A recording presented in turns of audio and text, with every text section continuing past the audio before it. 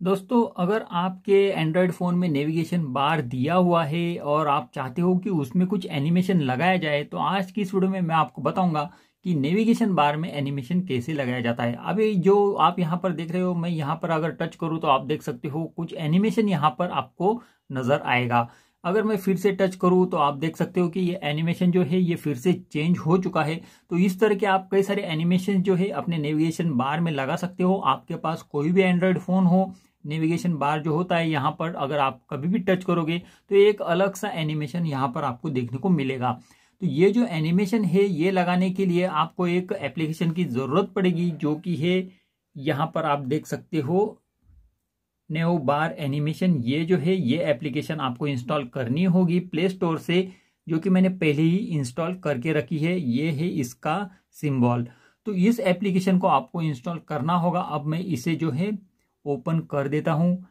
इस एप्लीकेशन को ओपन करने के बाद आप देख सकते हो कि कुछ इस तरह का इंटरफेस आपके सामने आ जाएगा। इसे पहले, सबसे पहले तो कुछ परमिशन देनी होगी, जो कि मैंने पहले ही अलाउ कर दी है। ये जो इंटरफेस है, इसमें आपको कई सारे एनिमेशन देखने को मिल जाएँगे। बहुत सारे एनिमेशन है इसमें। आपको जो भी एनिमेशन पसंद आएगा, आप यहाँ से सिलेक्ट करके लगा सकते हो। जैसे कि अब मैं यहाँ पर ये एनिमेशन ले लेता हूँ तो आपको यहाँ पर देखने को मिलेंगे कि ये सारे जो है ये एनिमेशंस इनमें से कोई भी एनिमेशन आप लगा सकते हो या तो फिर रैंडम एनिमेशन भी सिलेक्ट कर सकते हो। तो मैंने यहाँ पर रैंडम पे क्लिक कर दिया। तो ये है प्रो में प्रो वर्जन में। तो ये अब हम नहीं लेंगे। तो फिर से बैक चलते हैं। इसमें एड्स भी देखने को मिलती है कुछ।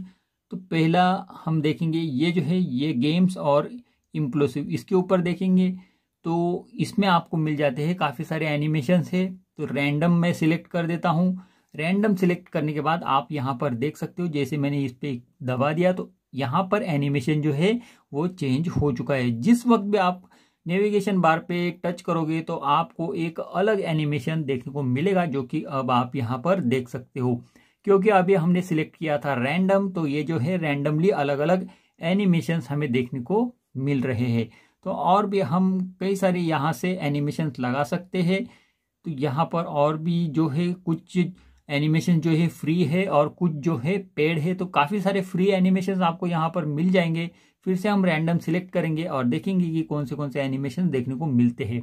तो आप देख सकते हो यहाँ पर जब मैं क्लिक करता हूँ तो देखिए, ये एक अलग टाइप के एनिमेशन की वजह से हमारे फ़ोन में कुछ अलग सा फील और लुक देखने को मिलता है।